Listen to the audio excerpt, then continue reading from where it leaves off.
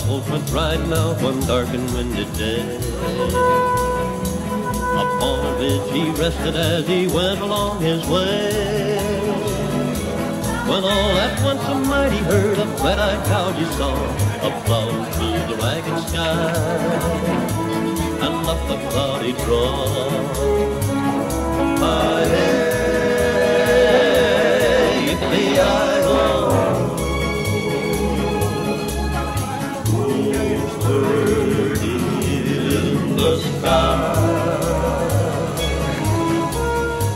Friends were still on fire and their clothes were made of steel. Their horns were black and shiny and their hot breath he could feel. A bolt of fear went through him as they thundered through the sky, for he saw the riders coming high, and he heard their mournful cry.